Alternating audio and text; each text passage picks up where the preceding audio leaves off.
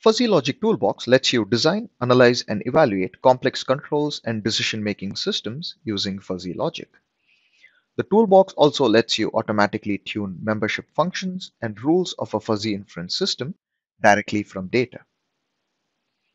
You can interactively design and evaluate different types of fuzzy inference systems, including Type 2 Mamdani and Sugeno systems using the Fuzzy Logic Designer app.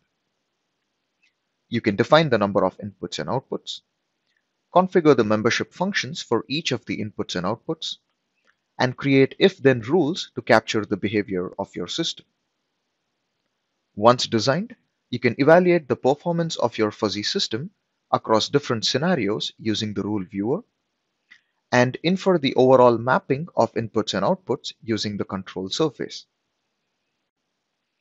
In situations when you do not have expert knowledge of your system, but have collection of input and output data that you would like to use for modeling, you can automatically tune membership functions and rules of your fuzzy inference system directly from data. You can leverage techniques such as genetic algorithms and particle swarm optimization from Global Optimization Toolbox, or use the neuro-adaptive learning techniques to tune your fuzzy system.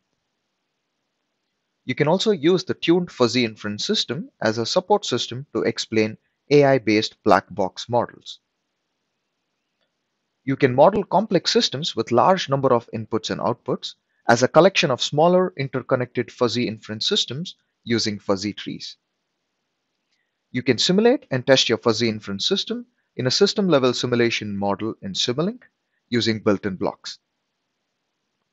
With the code generation products, you can generate C, C++, and IEC 61131 structured text code to implement your fuzzy inference system in embedded devices and PLCs.